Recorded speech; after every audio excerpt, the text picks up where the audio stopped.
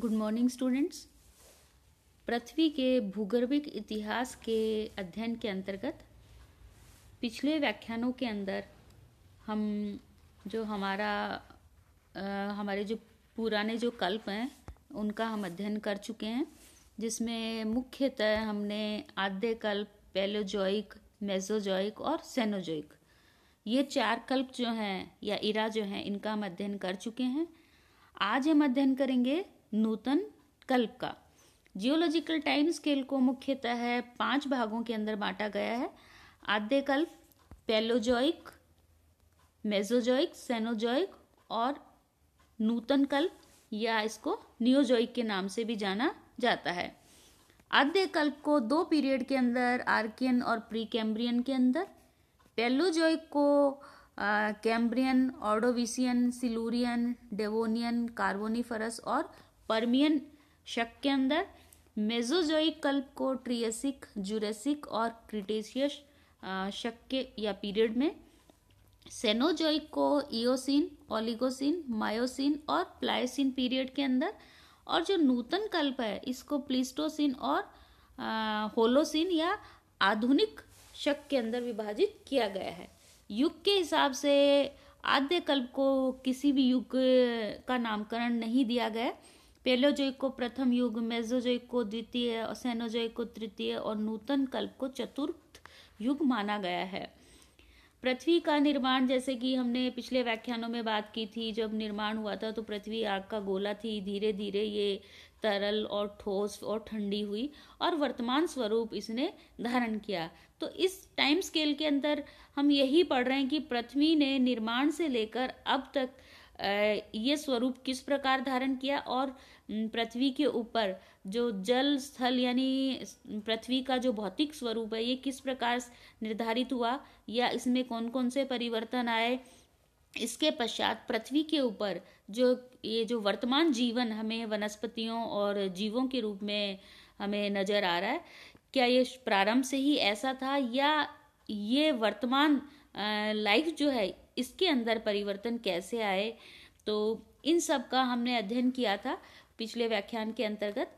तो हमने ये देखा कि पृथ्वी के ऊपर विभिन्न प्रकार की हलचलें हुई। सबसे पहले पृथ्वी ठंडी हुई जल वाष्प गैसों के हाइड्रोजन और ऑक्सीजन मिलने से गैसें बनी और हाइड्रोजन और ऑक्सीजन गैसों के संयोग से जल वाष्प का निर्माण हुआ।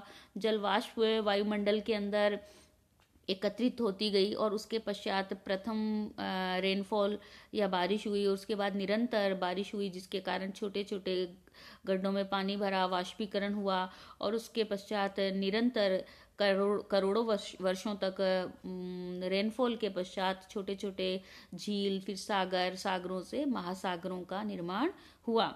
तो पृथ्वी के ऊपर निरंतर हलचलें हुई और उन हलचलों के द्वारा विभिन्न प्रकार की पर्वत श्रेणियों का निर्माण हुआ। और स्थलीय भागों के मध्य जल के भरने से महासागर और जो उच्च भूभाग थे, वो महाद्वीपों के अंदर परिवर्तित हुए।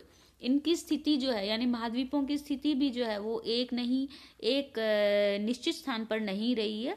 इनकी लोकेशन में भी निरंतर खिसकाव या परिवर्तन हुआ है। तो पृथ्वी के ऊपर बार बार पेंजिया या एक लैंड मॉस बने, इनमें विखंडन हुआ। और वर्तमान में जो, अंतिम जो हमारा पेंजिया था, उसके पश्चात जो हमारे महाद्वीप और महासागर जो हैं, इनका वर्तमान स्वरूप जो है वो निर्धारित हुआ।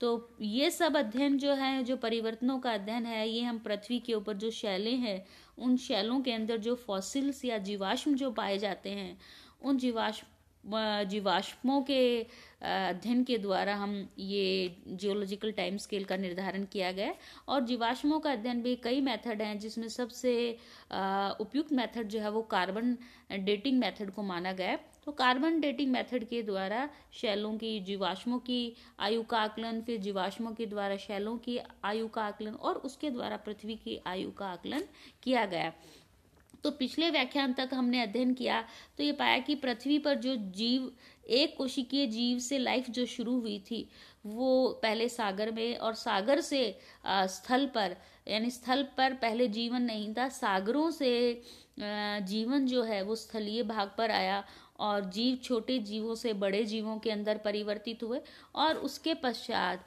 पृथ्वी के ऊपर छोटे जीवों से बड़े विशाल काय जीवों के अंदर ये परिवर्तित हुए। वन भी छोटी वनस्पतियों से बड़े विशाल काय वनों के अंदर रूपांतरित हुए। तो आज हम अध्ययन करेंगे हमारा जो नियोजॉइक इरा है या नूतन कल्प जो है, इसको हम इसके बारे में हम अध्ययन करेंगे। इसको हम चतुर्थ युग या क्वाटरनरी इपो के नाम से भी जानते हैं। इसको दो भागों के अंदर या उप विभागों के अंदर विभाजित किया गया है, प्लीस्टोसिन और होलोसिन। तो सबसे पहले हम बात करते हैं प्लीस्टोसिन शक या प्लीस्टोसिन पीरियड की। प्लीस्टोसिन पीरियड की जो अवधि है, ये वर्तमान से 10 लाख वर्ष पूर्व प्रारंभ हुई थी और लगभग 9 लाख नब्बे हज़ार वर्ष पूर्व ये समाप्त हुआ। तो कुल अवधि हम देखें इस काल की तो यह है दस हज़ार वर्ष। यानी प्लीस्टोसिन पीरियड का पृथ्वी के ऊपर दस हज़ार वर्ष तक इसका राज रहा था, या हम कहें कि इसकी अवधि इतनी थी। इस काल की हम मुख्य विशेषताओं की हम बात करें तो इस युग की सबसे बड़ी विशेषता थी भूपटल पर या पृथ्वी के सतह पर हिम चादर की स्थिति, यानी ग्लेशिएशन पीरियड। इस काल के अंदर ग्लेशिएशन पीरियड रहा था। यानी पृथ्वी के सभी महाद्वीपों पर हिम की चादर का विस्तार था। जैसे उत्तरी अमेरिका, यूरोप, एशिया, अंटार्कटिका और हिमालय भी हिमाच्छादित था। तो यानी पृथ्वी के अधिकांश भागों पर हिमाच्छादन था, क्योंकि तापमान जो इस पीरियड के अंदर कम हुआ। और इस हिमानीकरण के कारण सागर तल के अंदर गिरावट आई, क्योंकि सागरों का अधिकांश जल जो है वो हिम के अंदर परिवर्तित हो गया था। और इसी कारण स्थलीय भाग पर अत्यधिक हिम के जमाव के कारण भार में वृद्धि हुई और भार में वृद्धि होने के कारण स्थलीय भागों में भी धसाव हुआ। तो इस भाग के अंदर हम बात करें तो सागरीय जल जो है वो हिम में परिवर्तित हो गया और स्थलीय भाग जो है उनके अंदर नीचे की ओर धसाव प्रारंभ हुआ। इस काल के अंदर अलग अलग महाद्वीपों के अंदर अलग अलग हिम चादरों का फैलाव हुआ। तो सबसे पहले हम देखें उत्तरी अमेरिका में। तो उत्तरी अमेरिका में हिम चादर का फैलाव जो है वो चार विभिन्न समय में हुआ था, जिन्हें चार उप हिम हिम युगों के अंदर विभाजित किया गया था। और उनका नामकरण जो है क्लासिफिकेशन जो है, या नामकरण जो है, उन क्षेत्रों के आधार पर किया गया, जहाँ हिम चादरों का अधिकतम विस्तार था। तो क्रम से इनके नाम हम देखें तो खासकर नेब्रास्कन जो नेब्रास्कन क्षेत्र पर फैली हुई जो हिमचादर थी, दूसरे को हमने कंसास नाम दिया, जो कंसास क्षेत्र पर इसी प्रकार से इलिनॉइस, आयोवा और विन विस्कॉन्सिन। ये सारे के सारे संयुक्त राज्य अमेरिका के क्षेत्र हैं और इन क्षेत्रों पर हिमचादर का विस्तार था। और इन क्षेत्रों के नाम पर ही इस ग्लेशिएशन जो शीट जो थी, इनका नामकरण किया गया है।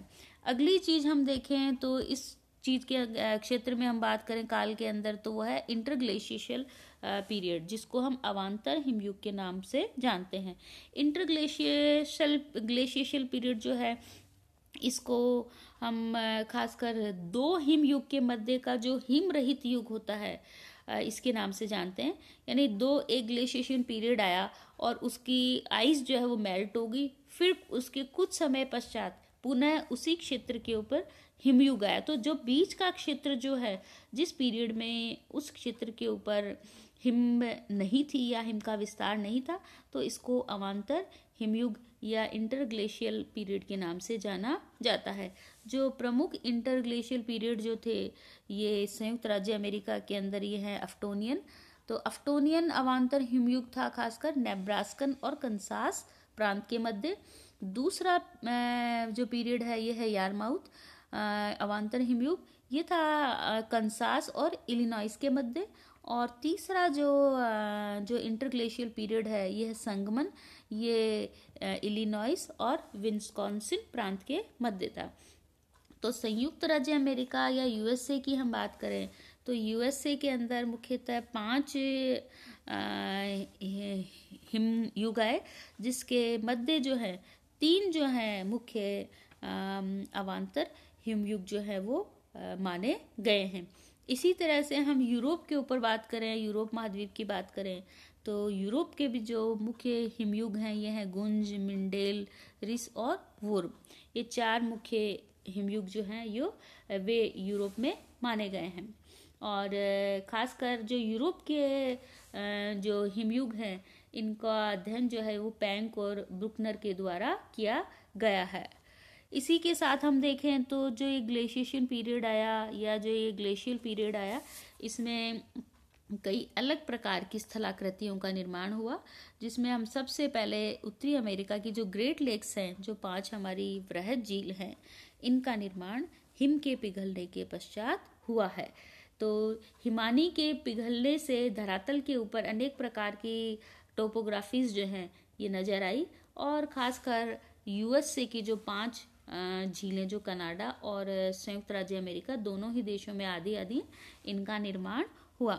इसके साथ ही जो नॉर्वे, स्वीडन, स्विट्जरलैंड और उत्तरी इटली की जो झीलें हैं ये भी इन ग्लेशियल पीरियड के के अंतर्गत हिमनदों के द्वारा इनका निर्माण हुआ। इन झीलों का निर्माण हिमनदों के द्वारा उत्पादन की क्रिया के द्वारा हुआ है। इसके साथ ही हिम चादर के उतार के कारण नॉर्वे के अंदर जो फियोर्ड तट हैं, ये बने हैं। इसके अलावा हम बात करें तो स्कैंडिनेविया क्षेत्र जो है ये प्रतिवर्ष अभी भी एक सेंटीमीटर की गति से ऊपर की ओर उठ रहा है। और इस काल के अंदर सागरों में हिमानीकरण के समय जो कोरल्स जो थे, प्रवाल भित्तियाँ थी, उनका विनाश हुआ और हिम के पिघलने पर पुनः इनका विकास हुआ।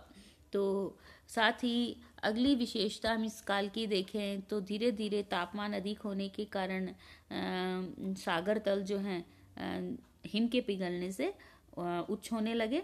और स्थलीय भागों की हिम पिघलने से प्रेशर कम होने के कारण, भार कम होने के कारण स्थलीय भागों की ऊंचाई में भी बढ़ोतरी होने लगी।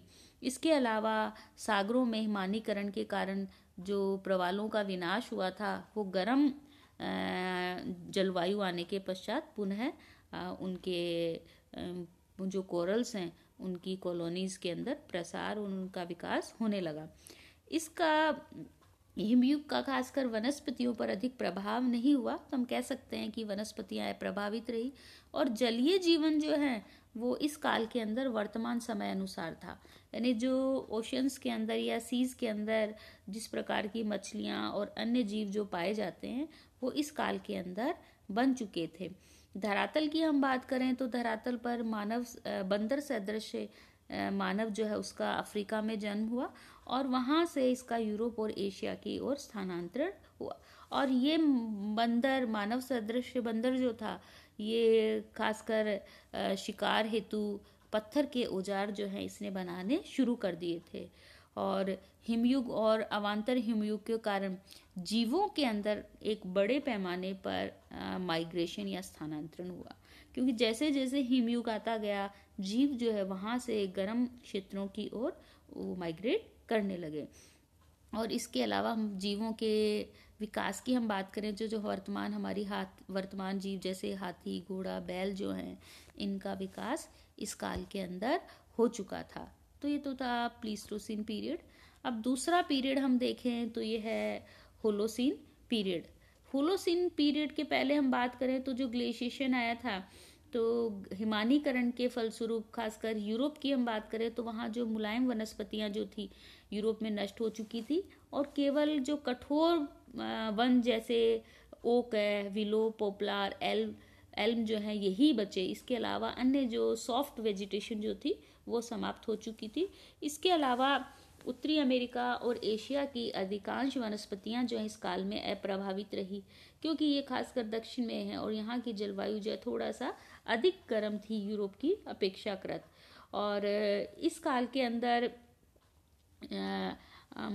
जलवायु जो है, ग्लेशिएशन या हिम के पिघलने से जलवायु जो है, वो थोड़ा गर्म होने लगी और ये शक प्लीस्टोसिन धीरे धीरे होलोसिन शक के अंदर परिवर्तित हो गया। तो अगला शक या पीरियड जो है वो होलोसीन शक। इसकी अवधि जो है वो वर्तमान समय से दस हज़ार वर्ष पूर्व मानी गई है। यानी सबसे नया पीरियड है। यानी हम जिस पीरियड में निवास कर रहे हैं, हमारा कौन सा पीरियड है? Holocene period. तो इसकी कुल अवधि जो मानी गई है, वो है दस हज़ार वर्ष पूर्व। वर्तमान समय होलोसिन या प्लिस्टोसिन उपरांत काल, या इसको पोस्ट प्लिस्टोसिन या पोस्ट ग्लेशियल पीरियड भी कहा जाता है। इस काल के प्रारंभ में जो हिम चादर जो थी, या हिम जो है वो पिघलना प्रारंभ हो चुकी थी तो हम कह सकते हैं हिम चादर का उतार सक्रिय हुआ। प्लिस्टोसिन पीरियड में ब्रिटेन जो है, वो यूरोप से जुड़ गया था, लेकिन हिम के पिघलने से वह यूरोप से अलग हो गया।